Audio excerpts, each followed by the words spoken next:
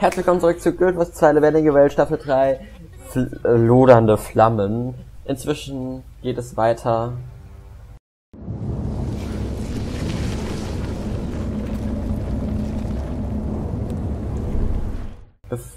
Solange wir da hinlaufen, kann ich kurz sagen, was schon passiert ist. Wir waren mit, wir waren bei Taimi in Ratanovos, die uns einiges erzählt hat über Primordus und dass auch Jormark erwacht ist und sein kleines Nickerchen pausiert hat.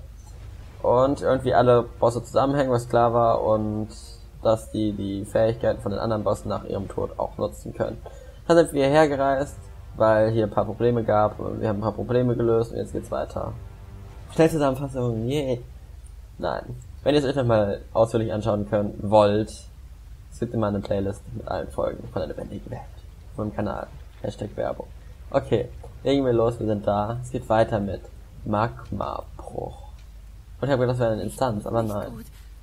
Vielleicht, wenn ich. Nein. Und wenn? Oh, dieses hundsmiserable Gerät. Bitte sagt mir, wie man es in Gang kriegt.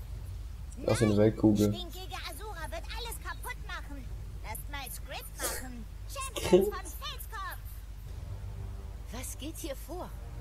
Dieses Skript behaupten, das Gerät hier habe etwas mit dem wachsenden seismischen Druck unter der Insel zu tun. Wenn wir nicht draufkommen, wie man es zum Laufen bringt, wächst der Druck immer weiter und irgendwann macht es, naja, wie die Skript sagen, Rums. Rums, rums, wii. Könnte auch alles Unsinn sein. Die Hälfte der Zeit verstehe ich sowieso nicht, was diese Kreaturen vor sich hin brabbeln. Dieser Felskopf, von dem Sie sprechen, weiß mehr. Aber Sie lassen mich nicht nah genug ran, um zu fragen, wie diese verflixte Maschine funktioniert. Lass nicht mit ihnen sprechen. Ich werde der Sache auf den Grund gehen. Ich hoffe, das werdet ihr, Kommandeur. Die Zeit wird langsam gefährlich knapp. Ah, das schaffen wir und wir können mit Skritz quatschen. Und das ist irgendwo da hinten. Kommt man da mit der Linie hin, die da vorhin war? Wäre meine Frage. Wird auch gehen. Oder ich glaube einfach rüber. Das sind Aufwinde. Ich sehe Aufwinde. Aufwinde. Aufwinde. Und eine Sehenswürdigkeit bekommen. Lavafluss. Oh mein Gott. Hm, das sieht ungefährlich aus. Äh. Mich würde jetzt mal interessieren, wie viel Schaden man bekommt, wenn man da durchschwimmt. Will ich das wissen? Ich glaube nicht. Dann fliegen wir mal lieber rüber, ne? Glaube ich besser. Warte, bevor wir mit dem reden, tun wir uns die Wegmarke. Ist Safety first. Ah, perfekt. Und hier gibt es nur vier Wegmarken. Und es gibt auch wieder Kartenabschluss. Wow. Okay, reden wir hier. Mit dem Skript. Was wollt ihr vom Felskopf? Sagt, sagt. Lass mich durch. Chill. Ich muss mit dem Felskopf sprechen. Nein, niemand sieht Felskopf, ohne dass Skrit es sagen. Nur Freunde von Skrit. Seht mal, ich muss mit diesem Felskopf reden, den ihr versteckt, und zwar schnell. Wie verdiene ich mir euer Vertrauen? Hm, helft dem Skrit. Ja, rettet Skrit vor Feuer. Bewaffnet Skrit gegen Zerstörer. Werdet Freundin von Skrit. Ich werde sehen, was ich tun kann. Wir müssen das Herzchen machen, schätze ich mal, beziehungsweise. Ah, es kann gut sein, dass wir durch die verschiedenen Herzchen-Missionen geführt werden. Was bringen die gute Beutel? So.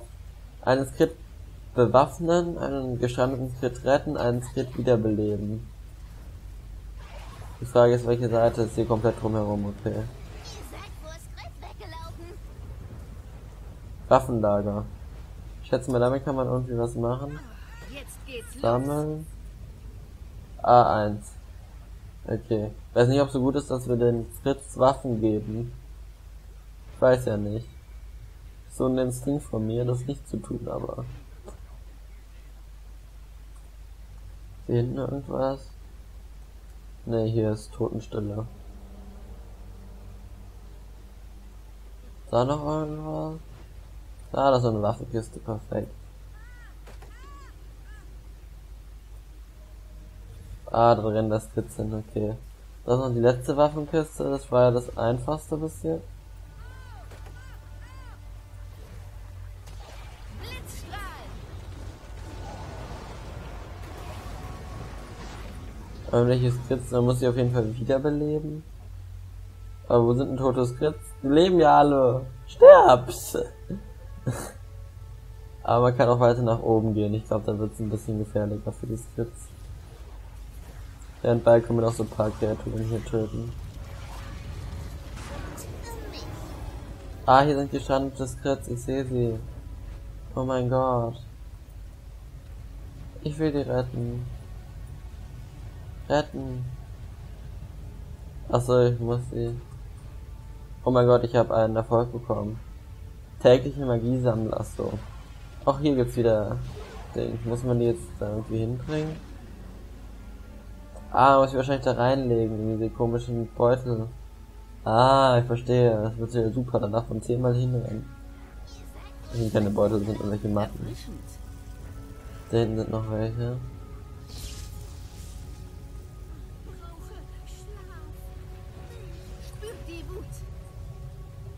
Ich habe Angst, dass durch den Patch zu wenig jetzt tot sind, dass man die wiederbeleben könnte. Habe ich ein bisschen Angst. Aber gut, muss ich einfach verrecken lassen. Dann funktioniert das. So, holen wir dann noch den anderen. Da war ja noch einer. Wir wollen hier nicht die Skripts vernachlässigen. Wäre ja nicht nett.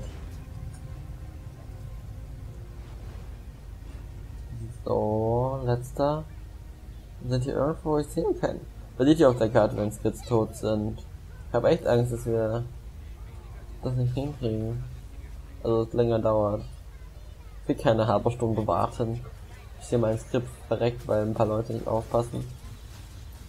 Lass die Skript sterben. Leute. Vielleicht weiter oben, vielleicht nördlicher, ich habe Hoffnung. Können die hier nicht sterben? Nein, die haben alle volle Leben. Schlimm. Schlimm, schlimm, schlimm. Die Truhe noch öffnen. Hier oben sind keine Skrits mehr. Aber hier ist ein Aussichtspunkt. Ich habe ein Gebiet entdeckt. Yeah. Und das sieht da echt nicht mehr gut aus. Nicht gut.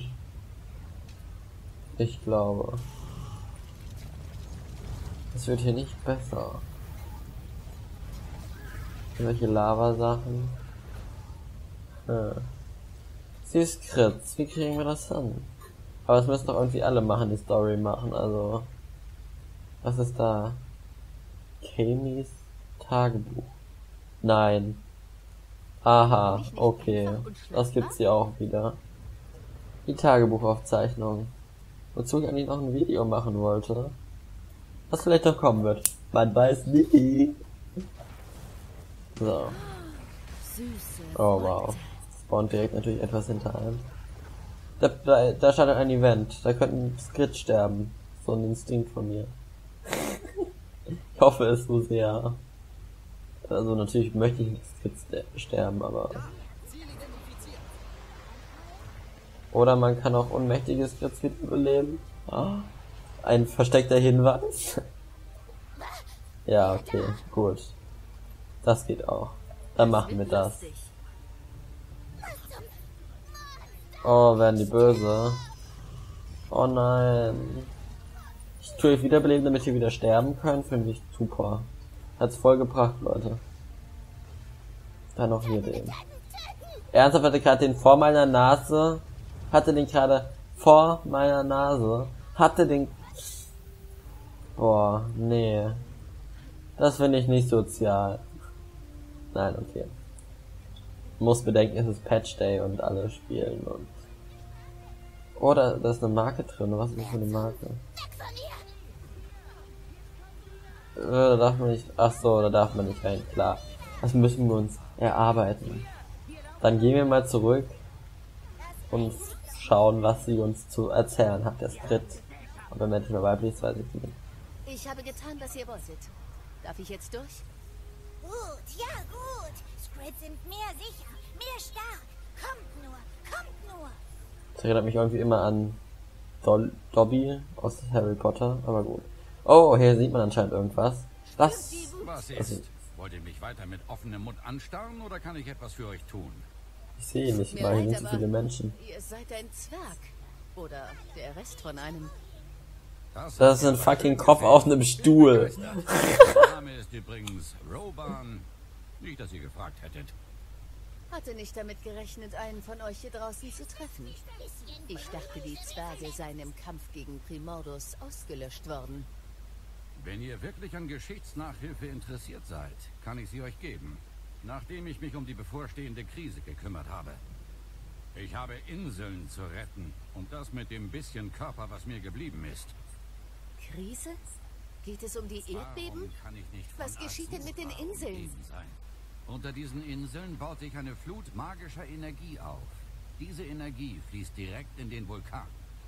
Brüder Boom. und ich Was? kümmern uns schon seit Jahren darum. Wir nutzen vier Apparate, um den Druck abzubauen und den Ausbruch hinauszuzögern. Dann tauchten Primordus und seine verflixten Zerstörer auf, vernichteten die Maschinen, töteten die anderen Zwerge. Mich haben sie auch fast umgebracht. Aber ich stehe noch, wenn man so will. Stehen möchte ich das nicht die Maschinen nennen. nicht Aber wieder laufen. Dann fliegen die Inseln in die Luft. Und die Zerstörer? Na, darüber will ich lieber nicht nachdenken. Ich habe gleich draußen einen von den Apparaten gesehen. Wie kann ich ihn aktivieren? Wenn es wahr ist, was ihr sagt, müssen wir rasch ich habe einen gesehen, okay. Die Maschinen sind auf uns Zwerge abgestimmt und reagieren auf niemand anderen. Es sei denn... Ah, ich hab's. Nehmt meinen Daumen. euren Daumen? Ja, das ist der Boden. Benutzt Nein. zum Aktivieren der Maschinen. Das ist der Vorteil, wenn man in Stücke gesprengt wird. Man ist teilweise tragbar. Ihr solltet euch vielleicht beeilen. Die Maschinen sind längere Zeit nicht gelaufen. Den Inseln bleibt nicht viel Zeit. Okay. Hier ist noch heute eine Maske. Was ist mit der? Oh, Maskensammlerin. Yay! Sammeln. Steindaumen. Daumen des Steinzwergs. Super. Wollte ich schon immer haben. Warte, können wir gerade noch draußen irgendwas töten, weil ich das Herzchen gerne noch hätte. Wäre ganz super. Uh, und Erfolge bekommen. Tägliche Erfolge. Die man bekommt, wenn man hier Herzchen macht. Gibt insgesamt fünf Herzchen. Okay, gut zu wissen. Okay. Wo müssen wir einfach rüber? Frage ist, wie kommt man rüber? Das nennt sich rübergleiten. Das Gefühl, dass man hier, dass es alles so einseitig ist, dass man nicht mehr rüberkommt. Hm. Hm, hm. Da hinten kommt man bestimmt rüber. Hab's genau gesehen. Hallo Skripts. Was passiert, wenn man sich in die Nebelform verwandelt und einen Schaden erhält? Puh. Nicht zu lange in der Lava sein, ist nicht gut, ist nicht gut. Tut dir nicht gut, deine Haut. Das war ein richtiger deutscher Satz. Okay. Wir müssen oben drauf. Wieder back to the Earth Kugel. Oder was auch immer das war, sah auf jeden Fall so aus. Bin ich da? Ist mich nicht. Ich freue mich, wenn ich diese coolen Teleporter hier nutzen kann. Mal schauen, was er hier uns zu berichten hat. Erfrischend. Ich habe gerade Felskopf getroffen. Die Überreste eines versteinerten Zwergs, wenn ihr mir das glauben könnt. Einen Zwerg? Hochinteressant. Und konnte dieser Zwerg irgendetwas Erhellendes zu unserer misslichen Lage sagen? Wenn diese Maschinen nicht bald zum Laufen gebracht werden, löst die Magieflut unter den Inseln eine verheerende Eruption aus. Sie können nur durch die Berührung eines Zwergs aktiviert werden. Zum Glück gab mir der Zwerg seinen Daumen. Sein Daumen? Hm, das ist beunruhigend, aber auch irgendwie logisch. Ich dachte mir schon, dass es irgendeinen Trick geben müsste. Da der Zwerg euch sein ein Stück von sich anvertraut hat, lasse ich euch den Vortritt. Wie nett, wie freundlich von dir. Na dann, let's go. Wenn man Uh. bedenkt, dass ich die ganze Zeit lediglich einen abgefallenen Steindom gebraucht hätte. Der Zwerg sagte, es seien vier solche Apparate über die Insel verteilt. Wisst ihr, wo die anderen sind? Vier Stück, was? Also ich glaube, einer der anderen Forscher hat an der Westküste einen ähnlichen Apparat entdeckt. Im Krater ist noch eine. Ich bin mir nicht sicher, wo die vierte ist. Vielleicht weiß es jemand von den anderen. Viel Glück, Kommandeur. Und damit haben wir es abgeschlossen. Die Episode, beziehungsweise den Abschnitt. Wir werden vermutlich im nächsten Part, schätze ich mal so, so ganz frei aus, dem, aus der Luft, die anderen Apparate aktivieren. Ich bin gespannt, was danach passiert, ob wir das noch rechtzeitig schaffen, bevor der Vulkan explodiert, was wir nicht hoffen. Und ja, ich hoffe, wir sehen uns wieder morgen, wenn es weitergeht. Bis dahin. Tschüss.